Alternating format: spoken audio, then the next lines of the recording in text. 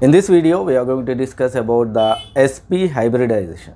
Let us see what is sp hybridization and its example.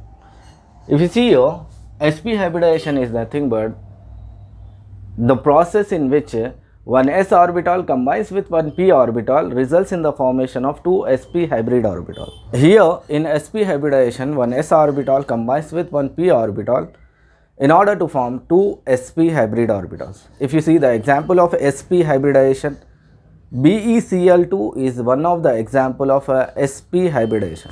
Remember, hybridization is a process of an atom in which the atomic orbital of an atom combines together and redistribute to form hybrid orbitals within the same atom.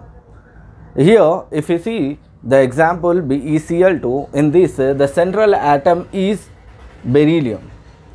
In BeCl2 molecule, the central atom is beryllium and if we see the electronic configuration of beryllium, it is 1s2 to s2.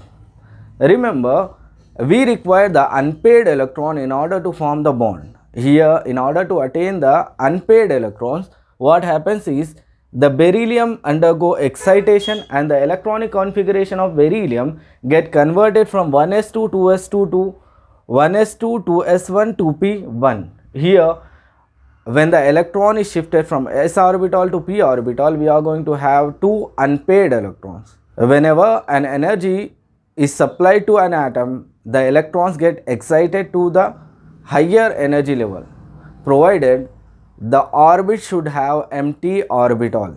When energy is supplied to an atom, the electrons uh, present in the atom, the two in outermost shell, get excited and shift to the empty vacant orbitals. Here in this case as we have empty p orbital, the electrons from the s orbital get shifted to p orbital and we have two unpaired electrons after the excitation of electrons from s orbital to p orbital in beryllium atom. The thing is the electronic configuration of chlorine atom as you know chlorine atom atomic number is 17 the outer shell electronic configuration of chlorine is 3s2 3p5 here in chlorine atom one unpaired electron is present.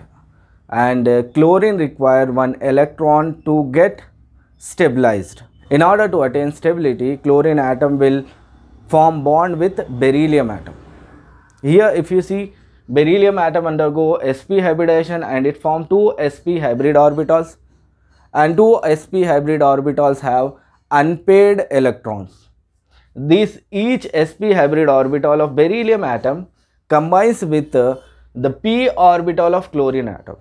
remember chlorine is having unpaired electron in p orbital and beryllium is having unpaired electrons in sp orbitals. These sp and p orbital will form a bond that two sigma bond as we have discussed earlier always the hybrid orbitals will form sigma bond here here in uh, BeCl2 molecule two sigma spp bonds are formed. As you know sp is the hybridization present in beryllium and p is the pure orbital present in the chlorine atom. The bond is formed between the sp hybrid orbital and p orbital of beryllium and chlorine respectively. So we are going to get uh, two sigma spp bonds in BeCl2 if you see the shape shape of the BeCl2 molecule is linear and uh, bond angle as you know if the shape is uh, linear the bond angle present in that molecule will be 180 degrees. And uh, the type of sigma bond present in BeCl2 molecule is a sigma spp bond.